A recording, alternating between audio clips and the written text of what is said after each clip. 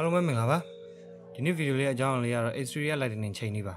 အဲ့တော့ Xperia Lightning ချိန်နေမှာနှစ်နည်းရှိပါတယ်ပထမဆုံးအနေနဲ့ Sun and Sky ကို very original ပါတဲ့ Sun and Sky ကိုအသုံးပြုရ Lightning ချိန်လာရယ်နောက်တစ်ခုက Toucher အကူအညီယူပြီးတော့ HDRI မှတ်နဲ့ချိန်လာရယ်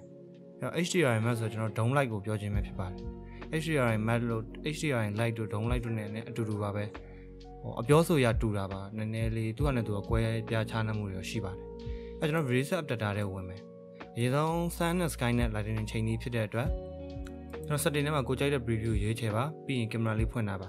runner output မှာလည်းကျွန်တော် preview ကြည့်မှာဖြစ်တဲ့အတွက်ကြောင့်800လောက်ပဲထားပါ resolution လေးနည်းနည်းနေတော့လောကကိုင်းရနည်းနည်းလေးအဆင်ပြေတယ်ဘာလို့လဲဆိုတော့တိတ်ပြီး set run စရာမလိုပါဘူးပြီးသွားရင်ကျွန်တော်တို့ file လေးပိတ်ထားပါဟောဒီနောက် file လေးပါတော့နည်းနည်းလေး lightning ချိန်တဲ့ခါကျရင်ဆက်လှုပ်ရှားတာများမှာဆိုလို့ပါအဲ့တော့ပြီးကျွန်တော်တို့ material override လေးပါဖွင့်ထားပေးပါအဲ့တော့ runner ချက်ကြည့်ပါမယ်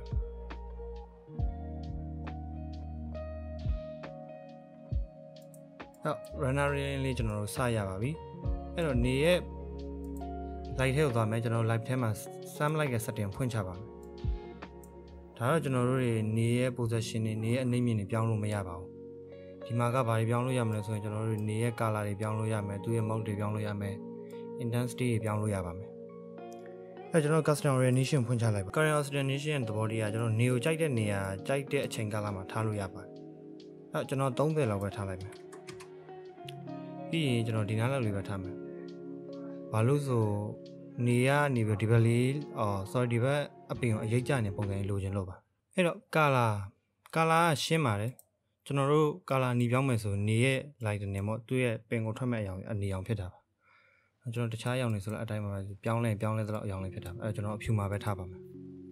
ပြီးရင် filter filter နဲ့ dry override သုံးမျိုးရှိပါတယ် filter ရဲ့ dry ကဒီ color ပေါ်မှာပေါ့မိခိုးပါတယ် ကျွန်တော်အနီရောင်ပြောင်းအနီရောင်ဖြစ်တယ်ဒီပေါ့အစိမ်းရောင်ပြောင်းအစိမ်းရောင်ဖြစ်တယ်တို့တော့ dry ရဲ့ဥစ္စာမမိခိုးပါဘူးကျွန်တော်ကြိုက်တဲ့အရောင်ပြောင်းပါသူငကိုရှိမြဲတိုင်းမရှိတာပါအဲကျွန်တော် exterior နဲ့ interior မှာတော့ filter နဲ့ override ကိုအဆင်ပြေဆုံးထားကြပါတယ်ပြီး intensity multiplier 2လောက်ထားကြည့်ပါနေလင်းလုံးဝလင်းထိုင်တဲ့သဘောပေါ့နေရဲ့ intensity ပါ နောက်တစ်ခုက sub multiplier sub multiplier ကကျွန်တော် value တင်ကြည့်လိုက်စစ်ထိကျွန်တော်ဒီနားလေးမှာပါဒါဒီကျွန်တော်တို့ sub multiplier 6နောက်ခုဒီနေရာဒီ sub multiplier 1 share smooth ဖြစ်တာပါ sub multiplier များလေ value များလေကျွန်တော် share smooth ဖြစ်လေပါအဲ ကျွန်တော်ဒီအောက်ကဟာ sky mode တွေပါတွေကနောက်ပိုင်းမှာချိန်ပါမယ်ဒါတွေလုံးဝတော့ပြောင်းလဲခြင်းမလုပ်ပါနဲ့ဒါတွေပြောင်းလဲလိုက်ဆိုဒီနောက်က color တွေပြောင်းလဲခြင်းတွေဖြစ်ပေါ်ပြီးတော့ lightning ချိန်တဲ့ခါကျရင်အဆင်မပြေဖြစ်နိုင်တယ်အဲ့တော့ကျွန်တော် stop လုပ်လိုက်ပါမယ်ပြီးရင်ကျွန်တော် camera ရှိသွားပါမယ် camera နဲ့ exposure လေးနဲ့လေးညှိမှု runner လေးပြန်ချက်ကြည့်ပါမယ်နည်းနည်းလေးမှောင်နေပါတယ် exterior မှာအဲ73လောက်ထားကြည့်ပါမယ် 73များပါ73.8ပါအဲ့တော့ value exposure value ရဲ့တန်ဖိုးကကျွန်တော်ဥပမာနှစ်ဆိုပါတော့ value နည်းလေပို့ပြီးတော့လင်းထိန်လေ value များလေပို့ပြီးတော့မှောင်လေပေါ့အဲ့လိုမျိုးမှတ်ထားလို့ရပါတယ် exposure ဘာလို့လဲဆိုတော့နေပြင်းအားလေးကိုတင်ပေးတဲ့သဘောပါနေပြင်းရတော့မဟုတ်ဘူးကျွန်တော်ဒီပုံမှာပါမဲ့အလင်းပြင်းအားလေးကိုနည်းနည်းလေးတင်ပေးတဲ့သဘောပါအဲကျွန်တော်တို့က sum multiplier ကြီး sorry sun intensity အများကြီးထားလိုက်မယ်ဆိုရင်အရင်လင်းပြီးတိတ်မကြည့်မကောင်းနိုင်ဖြစ်တတ်တယ်အဲ့တော့ exposure လေးနဲ့နည်းနည်းလေးညှိကြပါတယ်အဲ73.9ခွန်လောက်ဆိုရင်အဆင်ပြေပါတယ် Okay ဒါကျွန်တော်တို့ material override ဖွင့်ထားတဲ့အချိန်မှာအဲ့တော့ stop လုပ်လိုက်မယ်ပြီးသွားရင်ဒါတွေပိတ်လိုက်ပါဒီ interactive ကိုပိတ်လိုက်မယ်ပြီးရင် material override ကိုတစ်ချက်ပိတ်ကြည့်လိုက်မယ်ပြီး runner ချက်ချကြည့်ပါအဲဆို override ပိတ်ပြီးတော့ runner လေးတစ်ချက်ချကြည့်တာပါ ကျွန်တော်တို့ချိန်နဲ့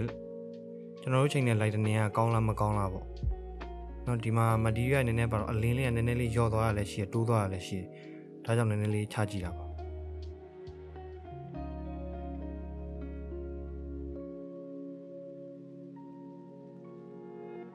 အဲကျွန်တော်ဒီမှာ finish လို့ပြသွားပါပြီဒီနေရာ finish ထိစောင့်လဲရတယ်မစောင့်ချင်မှကျွန်တော်တို့ lightning လေးကိုမှန်းဆလို့ရတဲ့အခြေအနေမှာလာ stop လုပ်လိုက်လို့ရပါတယ်နော် အဲ့တော့ lightning လေးနည်းနည်းလေးလိုနေတယ်မသိညနေဆောင်လေးလိုဖြစ်နေနည်းနည်းလေးကျွန်တော် exposure လေးကို 80တင်မယ်73.80တင်လိုက်မယ် sorry 60တင်မယ်ဘာလို့ဆိုသူက value နည်းလေများလေ73.6နဲ့အာ73.6နဲ့73.9ခုမှာ73.9နဲတာ73.6ကနဲတာဆိုတော့เนาะနည်းနည်းလေးပါပါလေးပဲတင်မယ်ဒီမှာ industry သွားတင်လို့ရပါတယ်ဒါပေမဲ့မတင်ဘူးတင်လိုက်ရင်တော်တော်ကြီးကို ဖြူဖွေးသွားလိမ့်မယ်အဲ့တော့အဆင်မပြေဘူးဒီ summer multiplier smooth ဖြစ်ချင်တဲ့အတွက်ကျွန်တော်4လောက်တော့ထားပါတယ်အဲကျွန်တော်တို့နောက်ဆုံး final runner ရင်ချလို့ရပါပြီနောက်ဆုံး final runner ရင်ချဖို့အတွက် CPU ကျွန်တော်ရွေးချယ်တယ်ပြီးရင် view ပြန်ပြောင်းတယ်ပြီးရင်ကိုကြိုက်တဲ့ resolution ထားကျွန်တော်2560မှာထားပါတယ်ပြီးတော့ရင်ကျွန်တော် material runner element တွေထည့်လိုက်ပါဦးမယ်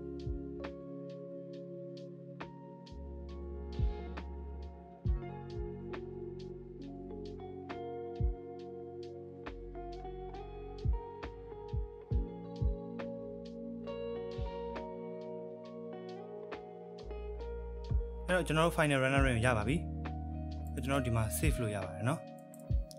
အဲ့တော့ကျွန်တော်တို့နောက်တစ်နည်းဖြစ်တဲ့ downline နဲ့ချိန်မှာဖြစ်ပါတယ်အဲ့တော့ downline တစ်ခုဖန်တီးကြမယ် downline ဖန်တီးပြီးသွားပြီဆိုရင်ကျွန်တော်တို့ media override လေးပိတ်ပြီး runner ချကြည့်မယ်ပြီး runner output ကိုကျွန်တော်800ပဲပြန်ထားမယ်ဘာလို့ဆိုပြန်အစပြန်ချိန်ရမှာဖြစ်တဲ့အတွက်ကြောင့်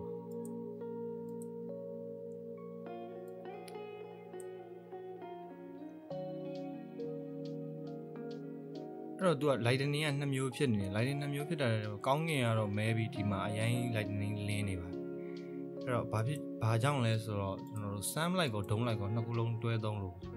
အဲ့လိုမျိုးသုံးလို့မရပါဘူးမရဘူးဆိုဒီ exterior runner ဆင်းမှာသုံးလို့မရတာအဲ့ဒုံး light တစ်ခုလည်းနဲ့ပဲကျွန်တော်ပြန်သုံးကြည့်မယ်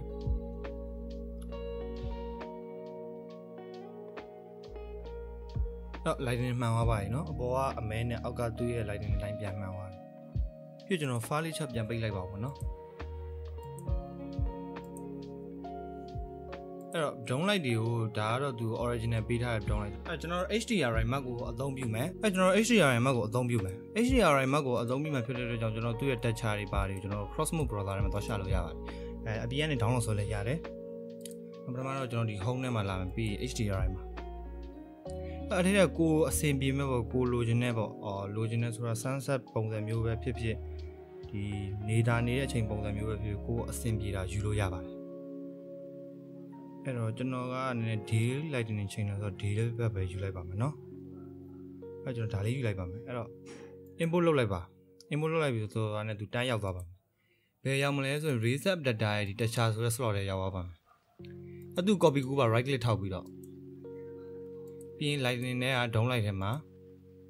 PS copy ပဲရိုက်ပါ PS instant မလုပ်ပါနဲ့ PS instant က interior တွေပါရတော့ပဲဖြစ်ဖြစ်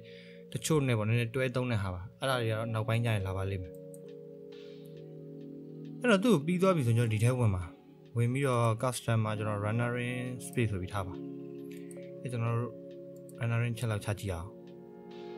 ဒီ preview တွေပါလုံးတဲ့အချိန်မှာ far တို့ဘာတို့လေးပိတ်ပေးထားပါနော်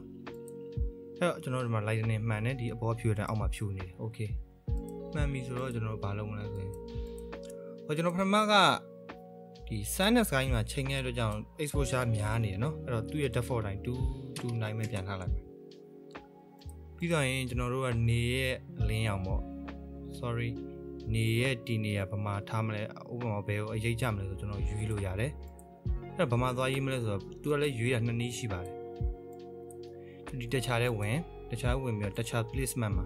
ကျွန်တော် environment ကိုလုတ်လုတ်တဲ့အတွက်ကြောင့် type ကို environment ထားပါပြီး mapping separate ထားပါပြီး rotate h horizontal တိုင်းလှည့်ပါ vertical တိုင်းမလှည့်ပါနဲ့အဲ့ဒီလိုလှည့်မယ်ဆိုရင်နောက်ကတိန်တဲ့ position တွေပြောင်းမယ်ပြီးနေရဲ့ဟာ share ကြတဲ့ position တွေပြောင်းမယ်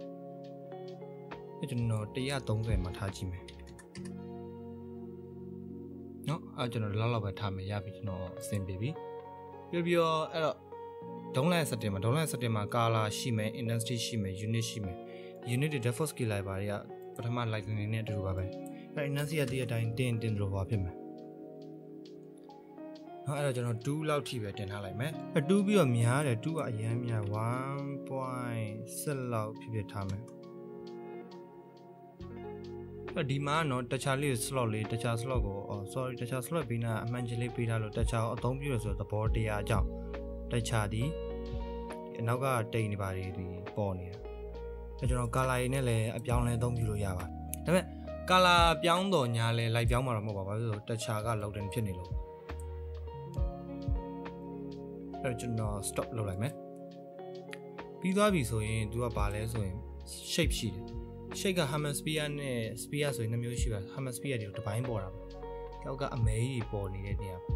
sphere ဆိုရင်အလုံးတစ်ခုလုံးဖြစ်သွားတာ ဒါတွေကကျွန်တော်တို့တိမ်အလှတွေပဲလိုချင်တာဖြစ်တဲ့အတွက်ဒီတိမ်နဲ့နေအလှတွေပဲလိုချင်တာဖြစ်တဲ့အတွက်ကြောင့် sphere ထားတာတော့နည်းပါတယ်ပြီး u transform u transform ကဘာလို့ဆိုလိုချင်တာလဲဆိုရင်အဲ့တော့ကျွန်တော် use transform ကလေးလေးချက်လောက်ပေးထားလိုက်မယ်အာ runner ပြန်ချကြည့်မယ်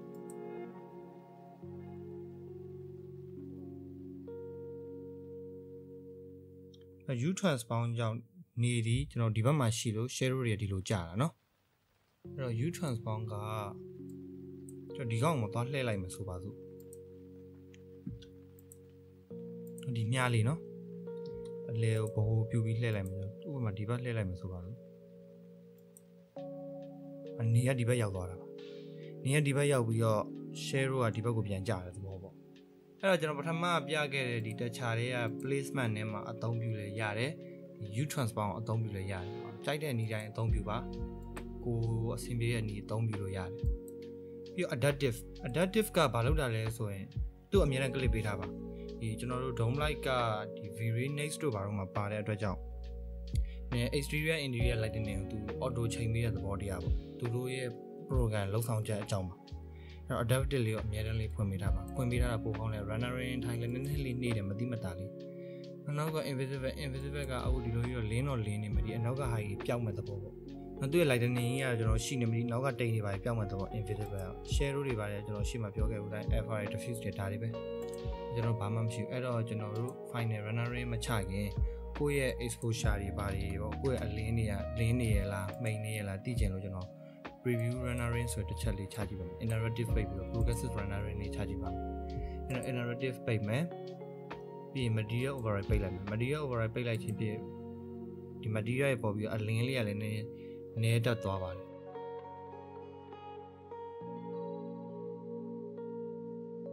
အဲ့ကျွန်တော် exposure ကို14ထားထားတယ်ဒီက dome light ရဲ့ industry 1.6ထားထားတယ်အဲ့တော့အဆင်ပြေပါပြီเนาะတော့ဒီမှာရင်ကို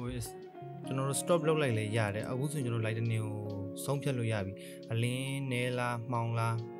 များလားဆိုဆုံးဖြတ်လို့ရဆုံးဖြတ်တဲ့အချိန်ထိပဲစောင့်ပြီးတော့ stop ပဲလုပ်လို့ဒီ finish ပြီးတဲ့အထိပဲ stop ပဲလုပ်လို့ကိုဆုံးဖြတ်လို့ရပြီဆိုတဲ့အချိန်မှာကိုကသာအဆင်ပြေလုပ်လို့ရပါတယ်တော့ကျွန်တော်တို့ကောင်းမီကြိုက်ပြီးဘာမှပြင်စရာမရှိတော့ final runner ချလို့ရပါပြီ final runner မှာကျွန်တော် CPU ရွေးမယ်ကျွန်တော် runner ချနေကြဖြစ်တဲ့ဒါတွေရွေးမယ်ပြီးရင် resolution ရွေးမယ်။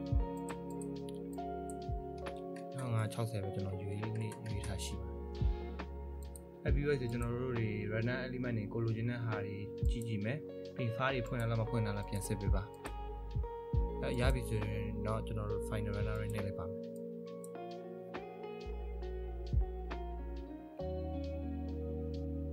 အဲ့ final runner ချနေပါပြီ။အဲ့ကျွန်တော်ဒီမှာ final runner ရပါပါပြီ။ဒီနေ့ဗီဒီယိုလေးကတော့ exterior lighting ကိုကျွန်တော်တို့ day ကို sun and sky ရဲ့ HD sorry dome light ကနှစ်ခုဖန်တီးပေးထားတာပါအဲ့တော့ပြန်လည်သုံးကြည့်ကြပါကျွန်တော်နောက်ဗီဒီယိုတစ်ခုမှာပြန်လည်ဆုံတွေ့ကြပါမယ်